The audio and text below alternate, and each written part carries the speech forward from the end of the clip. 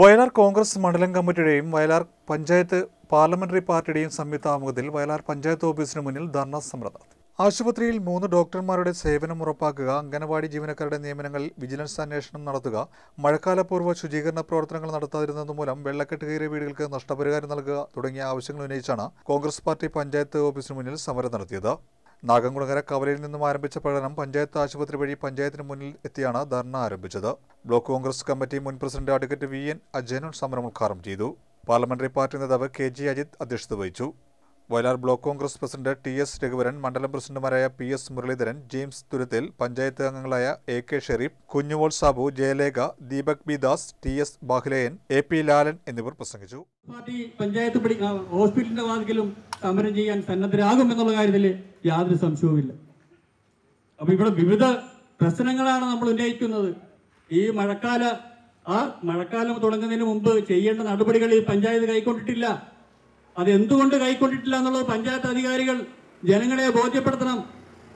ഇവിടുത്തെ സാധാരണക്കാരായ ജനങ്ങൾ താഴ്ന്ന പ്രദേശങ്ങളിൽ താമസിക്കുന്നവർ ഒരു മഴ പെയ്തു കഴിഞ്ഞാൽ വെള്ളത്തിലാണ് വെള്ളക്കെട്ടിലാണ് അവരെ വീട്ടിൽ നിന്നും പുറത്തിറങ്ങുന്നത്. വെള്ളത്തിലേക്കാണ്. ആ ഒന്നാം വാർഡിലൊക്കെ പല വീടുകളും നമ്മുടെ ആ പള്ളിയുടെ പ്രദേശത്തുള്ള പല വീടുകളും വെള്ളത്തിലാണ്. കുഞ്ഞുങ്ങൾക്കൊക്കെ അറിയാം അവരുടെയൊക്കെ പ്രദേശങ്ങളൊക്കെ അപ്പൊ അവിടേക്കുള്ള ചെറിയ തോടുകൾ കൈത്തോടുകളെല്ലാം നീരൊഴുക്കിന് സുഗമമാക്കിയിരുന്നെങ്കിൽ അതുപോലുള്ള സാഹചര്യം ആ സാധാരണക്കാരായ ജനങ്ങൾക്ക് ഉണ്ടാവില്ലായിരുന്നു.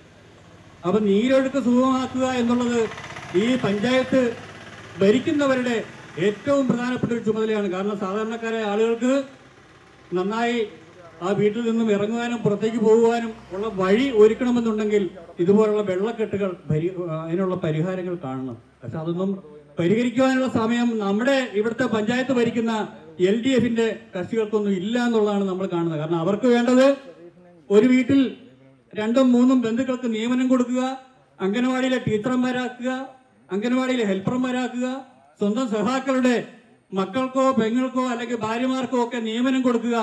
അതും എല്ലാ മാന്യ എല്ലാ മര്യാദകളും കാറ്റിൽ പറത്തിക്കൊണ്ട് ഈ പഞ്ചായത്തിന് വെളിയിലുള്ളവരെ വരെ നിയമിക്കുവാനുള്ള ഒരു സാഹചര്യം ഈ പഞ്ചായത്ത് അധികൃതർ കൈക്കൊണ്ടു